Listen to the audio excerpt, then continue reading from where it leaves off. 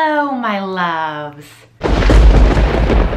My name is Jae. Welcome back to my channel. And guys, today I have the most excellent excellent book review for you. And of course, by that, you know, beginning, you already know how I feel about the book. And this is the book, The Troop by Nick Cutter. Guys, I did a whole reading vlog on this book. If you haven't watched it, it's my most recent reading vlog.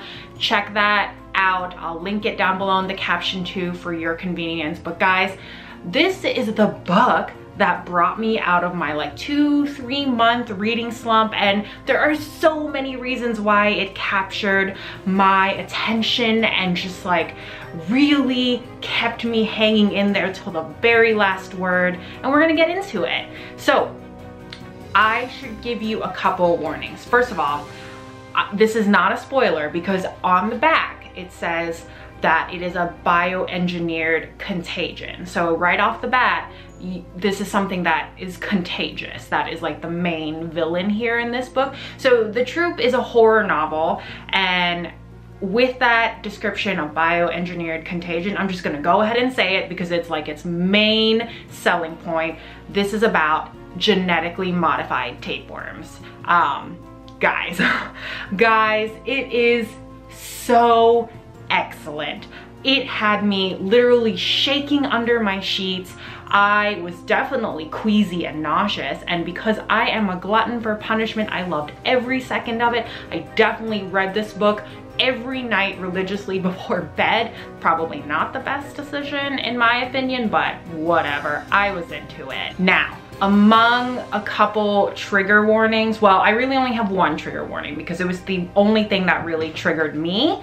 And it is that there is graphic animal abuse in this book. And I am a very sensitive person when it comes to stuff like that. I can barely watch movies that have animals die in it and they do get down to the nitty gritty because there are like experiments in this book that involve animals and then there are other scenes that involve animals and you've just got to know that if you're sensitive to that like really sensitive I would say no on this book because they don't spare any details. Nick Cutter is excellent with the imagery almost to a fault. So what is The Troop about? The Troop by Nick Cutter. I am going to put this book right here so you can stare at its loveliness while I tell you about the book. So The Troop is exactly about that. A Boy Scout troop that takes a sort of wilderness camping weekend on a on an island that's three miles north of Prince Edward Island. So you have their scout master, Tim Riggs, and you've got a troop of boys. And so when they settle in, a mysterious stranger happens upon the island and he has the genetically bioengineered contagion of nightmares contained within his body. And the moment this stranger steps onto this island, all hell breaks loose. Now, this is where the story starts to really take off. And mind you, when I say that, it doesn't take but like three, five pages maybe at the most for things to like pop off. Maybe not even that. This is definitely a high octane novel from the very beginning. There are no dull moments and just when you think that it's bad, it gets worse. And then when you think that it can't possibly get any worse, it does. It absolutely does. It goes there and I had nightmares. I have the nightmares to prove it. So once you start really getting into the story between um, the boys in the troop, it really starts to become sort of Lord of the Flies-ish. And if you didn't read Lord of the Flies in high school, like all of us were basically made to, it's basically about another group of boys who get trapped on another island and things start to sort of happen, uh, psychological things and, and, you know, when there is a group of young people in a really desperate situation, they sort of pull rank. And this is what happens in this book. And when you get to know about the boys in the group, you're like, oh, I bet I bet this one boy is going to survive. I bet he's gonna make it. Well, you're wrong. You're wrong. I must have guessed at least like two or three boys that were gonna make it and I was wrong with every single one of them. So you, I don't I don't know. I don't think this book is very predictable at all, although some reviewers on Goodreads would beg to differ. I think they're wrong too. So here's a couple reasons why I found this book utterly compelling, totally and entirely terrifying and horrifying. It plays on all of the things that I personally love in horror tropes. For one, it's about children. And when children are involved in horror stories, it's very interesting because children are supposed to be the innocent ones in our population. And when they're involved in desperate, terrifying situations, it's sort of like the defiling of the innocent. And I don't know, something in my mind is like, this is not how things are supposed to be. We should not be in this situation. And it just makes it so much more like anxiety inducing for me, which I love. Another thing too, is that it's in a remote sort of area. They're on an island. They don't really have any means to get off the island.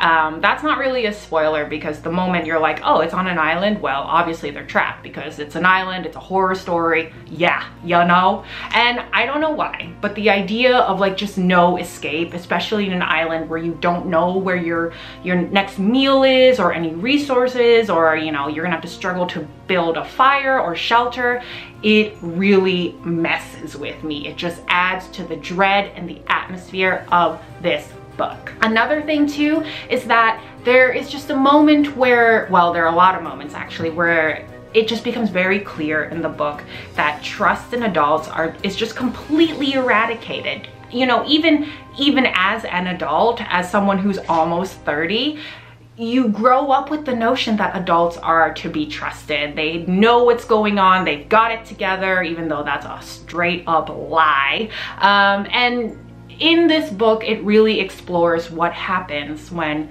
kids are in charge and how they can be pushed to their limits and how adults just play no part in their safety at all. And so when that foundational feeling of like security, especially as a child, is taken away, it just creates a terrifying situation. And it just was ultimately like a five out of five star read for me for these reasons.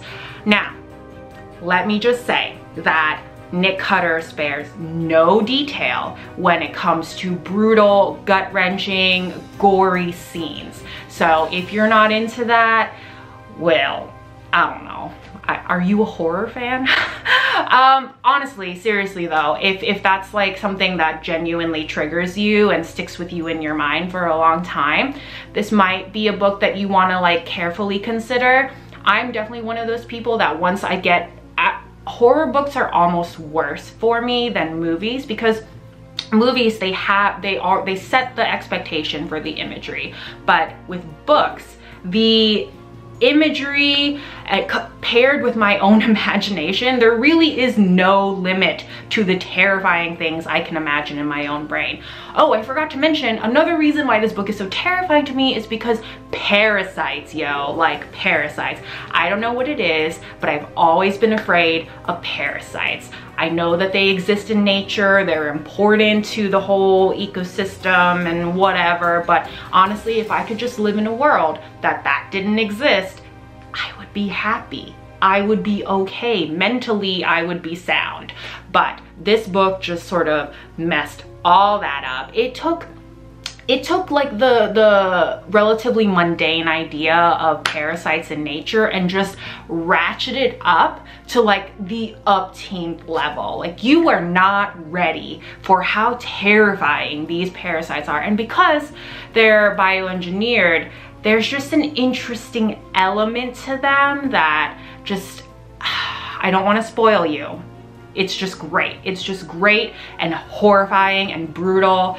Oh my goodness, I can't say enough th good things about this book. Now, now that I'm done sort of like gushing, I've gotten that out of my system and tell, told you how much I love this book. Love, love, love. If I could give, it like 5 million stars, I would. Um, Nick Cutter, you're my new favorite, let's be real. Um, here is a little rant. I went on Goodreads just to like look at other people's reviews and I'll be honest, uh, it, it, has like a 3.77 like rating on Good, Goodreads out of five stars. And part of me is like, oh my gosh, these people are being such haters. Like a lot of people are saying, well, not a lot, but the people who didn't like the books, they said that it was cliched and predictable and that there was no atmosphere and it was just very derivative. And from me to those haters, you're wrong. You're just wrong. I am an avid horror consumer and that doesn't mean that people can't have their opinions. I mean, they can, they can. And I also have the opinion of you're wrong. this is an excellent book. In all seriousness, like, you know, more power to you if you read this book and you were like, I'm not scared. Psh, just like not bothered by it because I was genuinely bothered by it. Um, I remember watching a reading blog of um, this book a while back before I read it and the girl who read it, I'll link her um, I'll link her vlog down below. I can't really remember because I watched it so long ago, but she just, she said that she was unsettled and uncomfortable. And I was like, oh, yeah, that sounds cool. Um, this book is way more than just unsettled and uncomfortable, guys. I Anyway, I could go on and on about this book. All I'm going to say is that you need to read it if you like horror and if you're reaching, if you're just honestly reaching for something that will scare the pants off of you and make you really uncomfortable, Nick Cutter's the guy. Read The Troop. Read it.